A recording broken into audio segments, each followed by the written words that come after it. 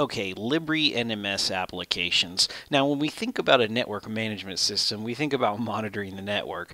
Now, uh, this is all well and good with LibreNMS. We can monitor switches, routers, and firewalls, but servers are increasingly playing an important role on the network. And uh, we need to figure out a way to monitor those a little bit better. We can add servers into LibreNMS, no problem. As you can see here, I have the local host, but this is not really telling us the whole story. We're not really monitoring the applications running on this server, and that's exactly what LibreNMS applications is trying to solve, is get stats from these applications, get them back into LibreNMS, uh, add them to the database, alert on them, build graphs. Uh, so that's exactly what we're going to try and do here, is uh, try to add some applications to our local host here. So there's literally thousands of applications that you could run on a server, but in order to see the ones that are supported by LibreNMS, we can go over here to the LibreNMS docs website, uh, applications. Uh, if you scroll down here, you'll see a list of uh, applications here that we can actually start to monitor on the server, and most of the major ones are in here, so uh, you'll probably find a bunch that you're using and you want to alert on and uh, start monitoring.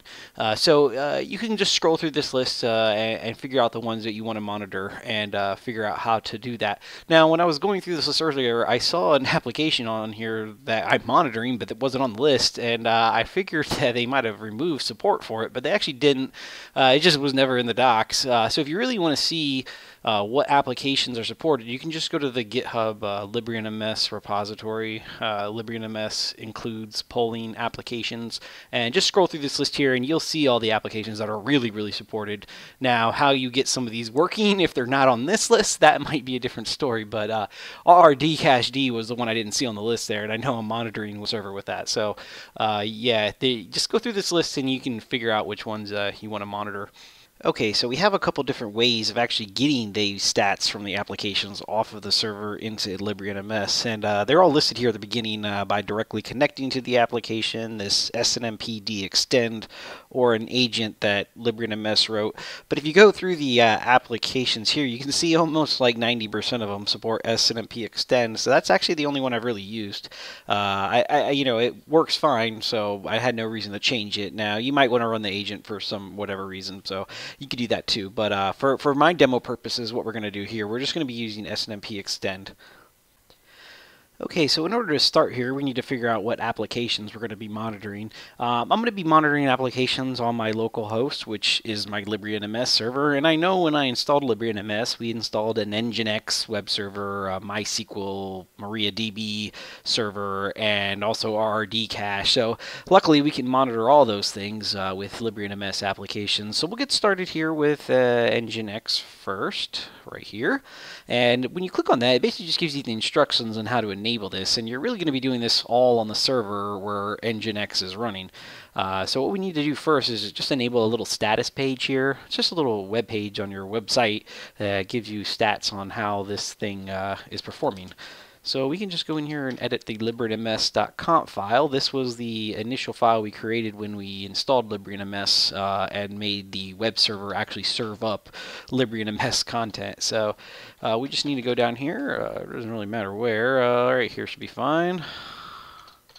And I'm also going to allow my uh, you don't really have to do this, but I'm just going to allow my uh, local network here just so we can uh, look at this web page for us because if we don't put this in here, then only the loopback address is allowed to access this website, and that would only be the engine or the uh, LibreNMS server. So I want to view it from my web browser on my PC here, so I just want to allow that too. So we'll just restart this. Restart Nginx. It looks like it started fine. I usually always do a status after I restart something just to see if it's working, if it threw any errors or anything. So we should be able to go to this website now. 192.168.1.35.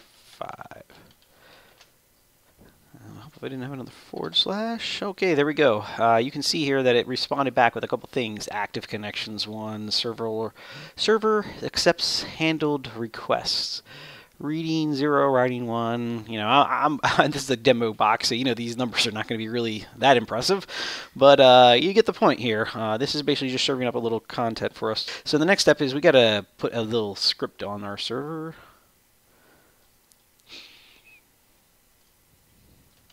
Get out of here.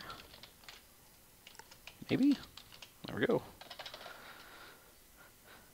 Okay, this is just putting a little script right here, this nginx script. Uh, then we need to allow execute permissions on that script. There we go.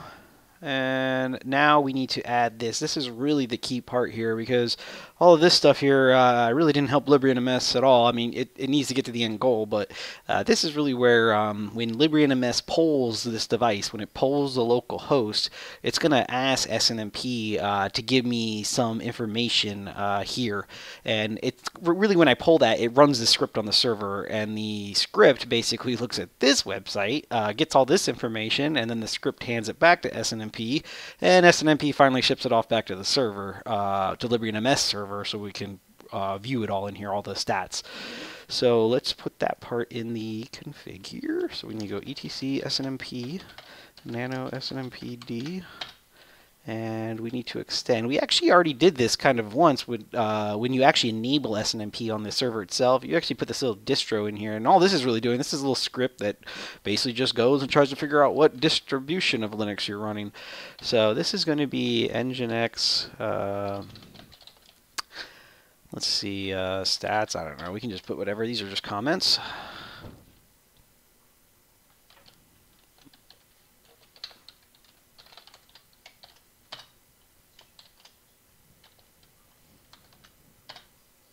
Okay, that restarted. So now that should have been all we had to do here. So we just restarted SNMP on our host.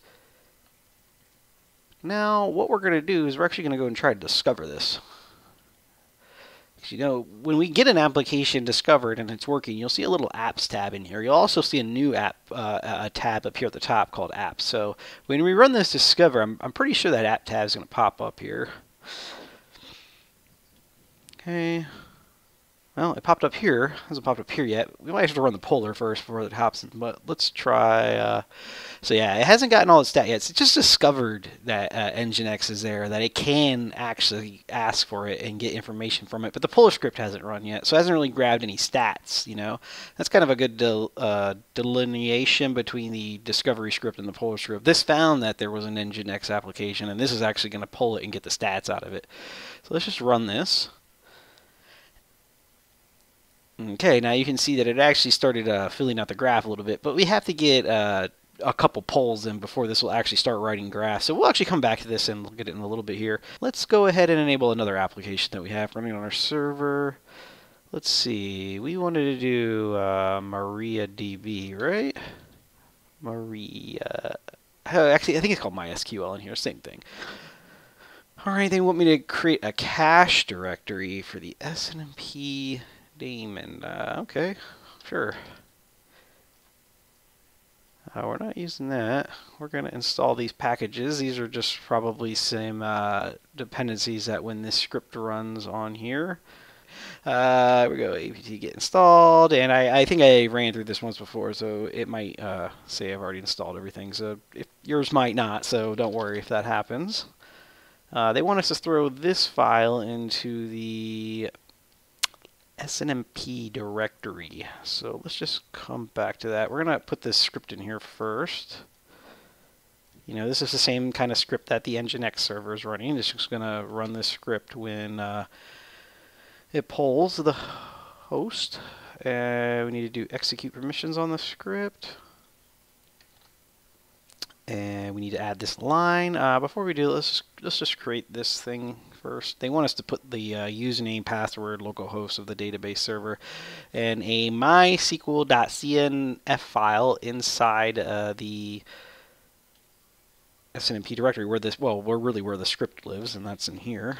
So nano, what was it? mysql.cnf. Okay, going to just copy and paste this in here. And these values are when you set up uh, LibreNMS the first time. Uh, we had to set the MySQL user password and other things, but this was actually MySQL is going to be LibreNMS. And this is going to be password because we didn't, we just left it at the default, which is password, which you should definitely not do. Okay, so we did that. We need to add this extend into our SNMP config.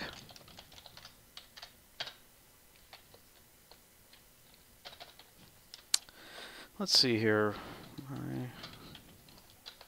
That's probably not how you write it, but whatever.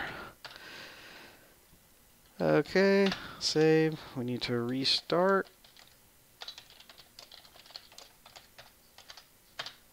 Okay. So now, you know, we have this we have this app on here. Is this going to work? So now we need to discover the next app. Let's run discovery here.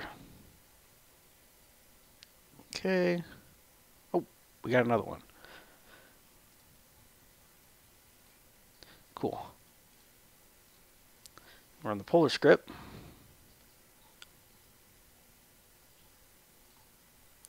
Okay, so this should start filling out, and you can see the MySQL one actually gives you a bunch of stuff here.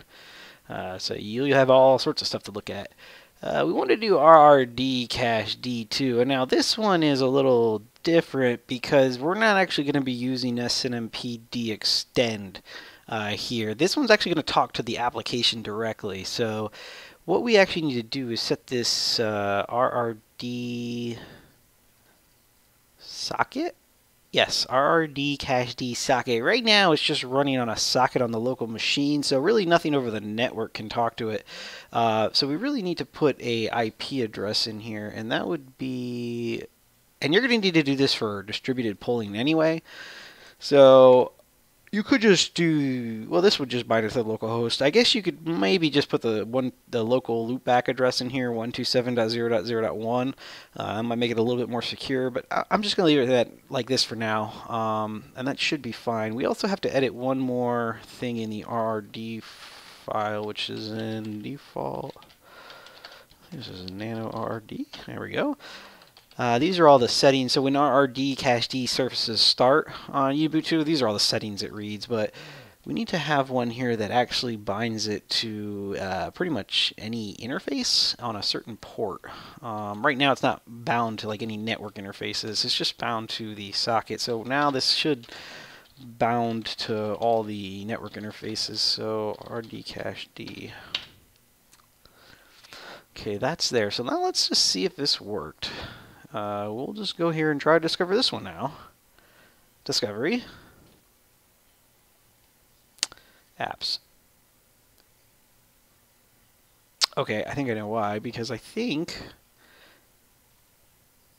Let me turn this on. So you go to settings and application, you can turn these off and on, but I've never really had to do this. Uh, usually they're all off by default, and when the discovery script runs, they turn them on. So I don't know why you need to do that, but let's try turning this on real quick because this is not really trying to discover anything over SNMP. So maybe it needs to be on in order for it to discover it or pull it. And actually, you know what? you know what? I just think I know what it was. It's not even a discovery. It needs to be pulled, but I think the poller script ran and it ran. But this should clear up here after a little bit. Let me run poller again and see if it gets it any better. Yeah, there we go. So that little question mark you saw there, that's not good when you have an application. That usually means something's broken with it. It can't get stats off of it. But these should actually uh, start filling out here in a second. So I'm going to pause the video real quick, and we'll just wait a couple minutes here until uh, this uh, starts filling out. So another thing while we're waiting here, you could just run this poller script, and you remember I've always been saying this poller script grabs all the stats of all devices, so we could just run that poller script and maybe search for RRD cache D.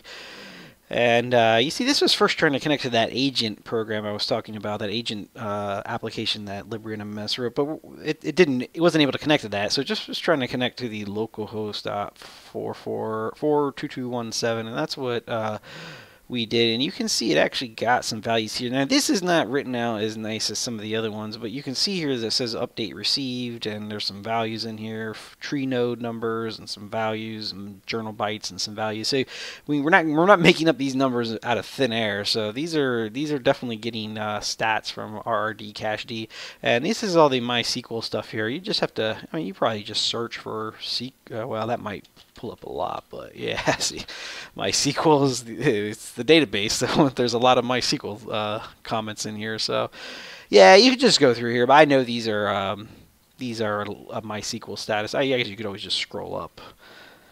So this is a good way to see if your applications, and see this is like the specific OID that uh, it pulled on this host to get the MySQL stats.